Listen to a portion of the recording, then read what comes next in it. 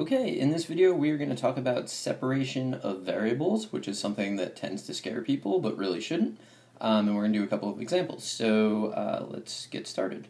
So in general you're going to do two things, and uh, it's kind of in the name. So the first thing that you're going to do is you're going to separate and try to get the independent variable on one side, the dependent variable on the other side.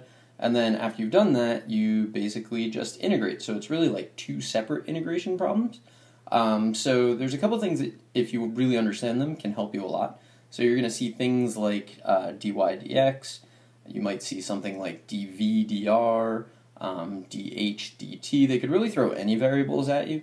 Um, the key thing to know is that when you're looking at these things, you got the x, the r, and the t. Those, whatever falls down there, kind of in that template, um, is the independent variable. So you want to remember that. So in kind of the denominator is the independent variable. Um, and when I solve these, and I in general recommend this, uh, you're going to bring everything that involves the independent variable over to the right hand side. Um, so we're going to do that. And then when you look at kind of the numerator, you see you got y, v, and h. Those are uh, your dependent variables. And you want to move everything that involves those to the left. And that's kind of how we separate. Um, so there's a couple things that can happen, one of which is um, there could just be a constant multiple, and if there's a constant multiple, uh, I recommend that you always just leave that on the right hand side or move it to the right hand side um, of the equation uh, because that's just kind of helpful um, and it makes it a little easier to integrate on the left hand side. And uh, a second thing that can happen is that there's no guarantee that the independent variable is actually going to be there before you integrate.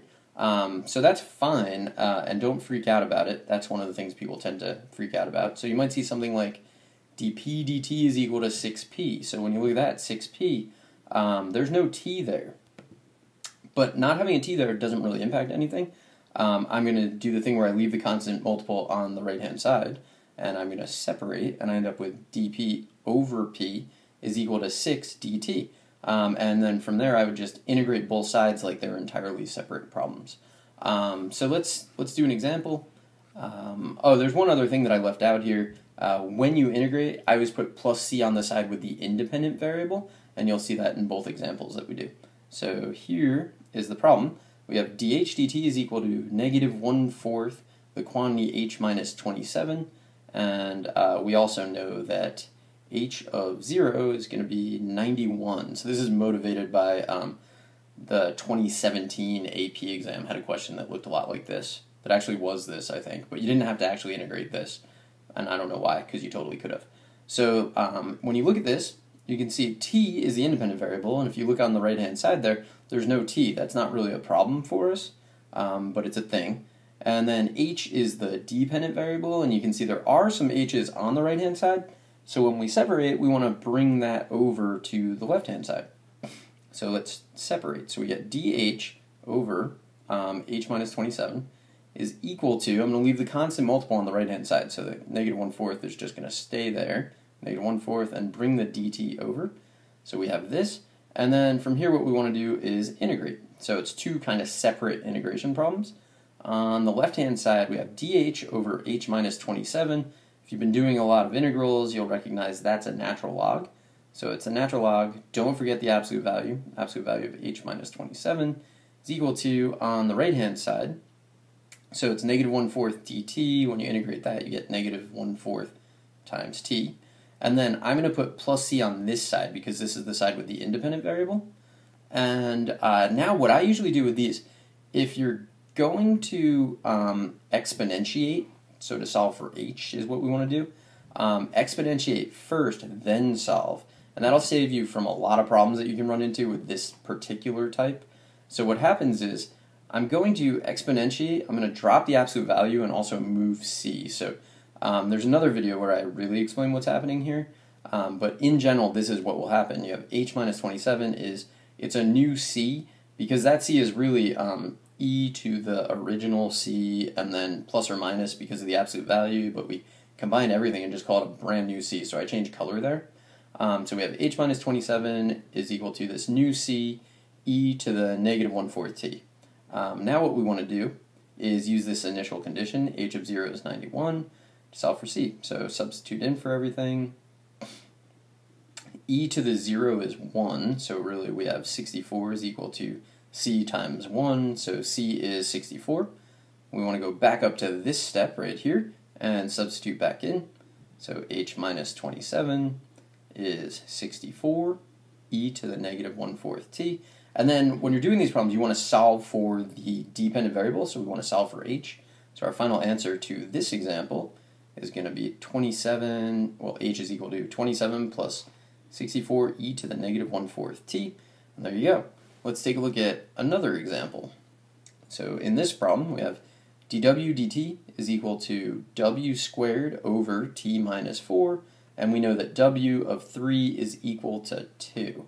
Um, I noticed something in this problem right away, and it's this t minus 4 in the denominator here.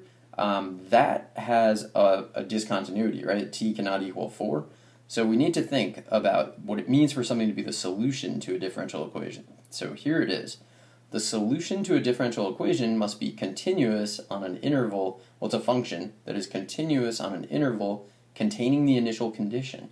So since there's a vertical asymptote at t equals 4, either the domain of our solution is going to be t is less than 4 or t is greater than 4, and we're going to decide which of those to pick based on the initial condition. So this says w of 3 is equal to 2. The key thing there is that t can be 3. So since t can be 3, the choice we need to make must be that t is less than 4, because if we chose t is greater than 4, we couldn't even go through the initial condition, and that would be a big problem. So we have to keep this in mind kind of for our final answer, but it's not going to impact anything until then. So let's, uh, let's solve this. So we want to get everything with a w on the left-hand side, um, because that is our dependent variable and everything with a t, including the dt on the right-hand side. So we're going to end up with dw over w squared is dt over t minus 4. And now this becomes just two integrals that we want to solve. Um, on the left-hand side, I'm going to, in my mind, call it w to the negative second, then add 1 to get w to the negative first, and multiply by the reciprocal of negative 1, which gives me negative w to the negative first. And then that's equal to, on the right-hand side, we get a natural log again, so equals the natural log, don't forget the absolute value of t minus 4, and then we put the plus c on the side with the independent variable, so on this side. And what I'm going to do is I don't need to exponentiate to um, get w by itself, so I'm going to solve for c right now. So I'm going to use the initial condition, w of 3 is equal to 2. So it's negative quantity 2 to the negative first, natural log of the absolute value of 3 minus 4. That absolute value is really important because you can't actually find the absolute value of negative 1, but the absolute value makes it, uh, sorry, the natural log of negative 1, but the absolute value makes it the natural log of positive 1, and that is 0, which is definitely something you should remember. So we get negative 1 half is equal to c. Let's go back to here and substitute that in. So negative 1 over w is natural log of absolute value of t minus 4 minus 1 half. I'm going to multiply through by a negative. I like to take this a step at a time so I don't make some kind of uh, silly mistake. So we have this, and then uh, I'm going to take the reciprocal of everything to get w by itself. So it's 1 over 1 half minus the absolute natural log of the absolute value of t minus 4. What I'm going to do here is I'm going to include the domain that we worked out before, so such that t is less than 4. I'm going to box it, and I'm going to leave my answer like that. There's a lot you can do with that answer, but uh, I think we solved for w. We stated the domain, so we really solved this equation, the separable differential equation. Um, all right, that's kind of the whole thing. I hope you found this helpful, and good luck.